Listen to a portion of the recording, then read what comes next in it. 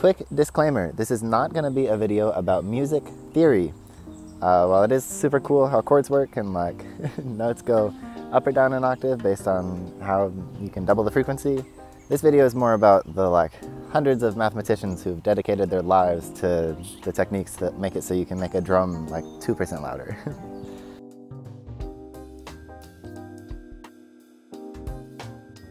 Uh, we're gonna get a little bit into the weeds immediately and talk about how speakers work.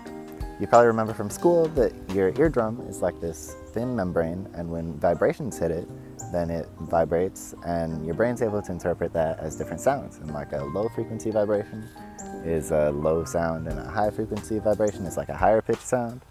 But a speaker is basically just a reverse eardrum. It's also like a thin membrane and you run electricity through a magnetic coil which causes the speaker to vibrate. Instead of being a membrane that receives vibrations, a speaker is a membrane and it vibrates to create sound. And the reason I want to talk about how speakers work is because I'm going to talk about how audio is stored on your computer. Uncompressed audio is stored as a .wav file, or .wave file, I don't know exactly, but .wav file. And this file is just a long list of numbers, and each number is associated to a certain time in like a song. What the number means is it's where the speaker should physically be in its vibration at that point in time. So if you imagine a speaker vibrating and like over here is negative one and over here is positive one, and as your computer goes through this .wav file to play the song with all the oscillations, your speaker is like trying its best to match up to the numbers that are in the song file, which is just mind-blowing to me. That's how it works. Lots of effects in music production involve cutting out the high end or low end of frequencies, um, which produce different effects. Like if you get rid of all the high end frequencies, it kind of removes all the scratching and the, the, like identity of the noise and just becomes more of a rumble. It sounds like you're underwater really. Um, and then you can do the opposite by removing the low end frequencies and just get the scratches and like lose all the depth. But the issue is when your song is just this long list of numbers of where the speaker should be, you can't actually tell what the frequencies are. And frequency is kind of like a hard idea to think of when you're still in like this world of displacement and think about like pushing air molecules. And so this is probably my one of my favorite things in all of math. When I was in high school, uh, I was taking this class called differential equations and my dad had to drive me 45 minutes to community college every day so I could go and take this math class.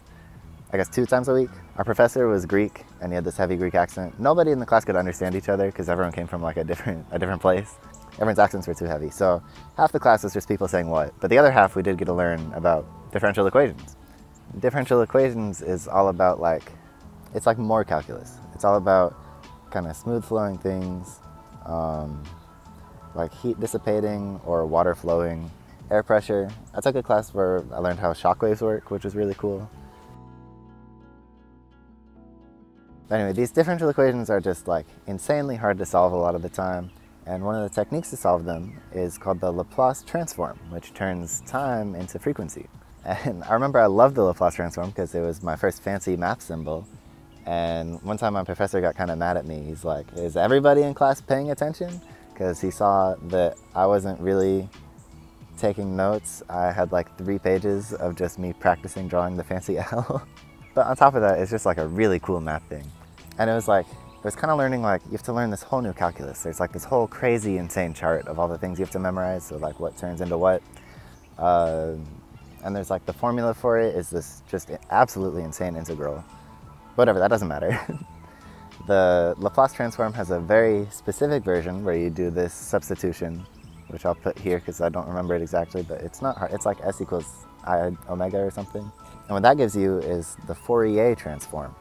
And the Fourier transform is able to decompose a signal into all of its uh, frequencies.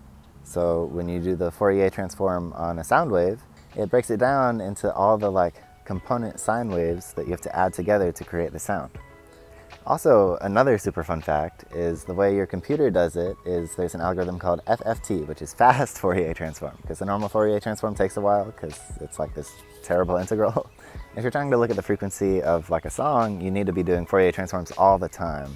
Right, the fast Fourier transform was invented half by like a random mathematician and half by a guy who was working at IBM. And I'll put the two names up there. Um, and they were like trying to patent it for IBM, which would have been so terrible for the world because it's like a big part of signal processing in general. You know, internet comes over radio waves and all sorts of waves. Like uh, the internet just might not work if, if this had been patented by IBM. Okay, here we can see our little EQ tool.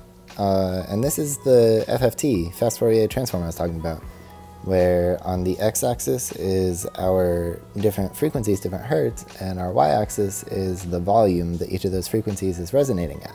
Um, but yeah, and like when I'm talking, you can see it spikes in all the different frequencies that I talk in.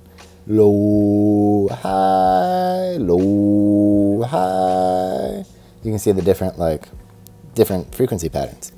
And the whole point of this EQ tool is to boost or decrease different frequencies for when people do like a vocal take.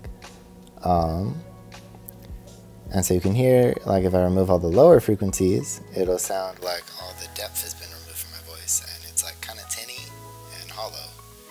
Versus if I remove all the high frequencies, it'll sound like I'm kind of underwater.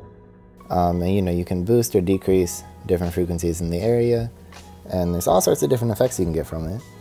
But it is, literally, it's doing this Fourier transform and then showing you the graph of it in real time and then you adjust this curve, which will like multiply the curve by the Fourier transform, and then it'll do an inverse Fourier transform and put that back in your audio file.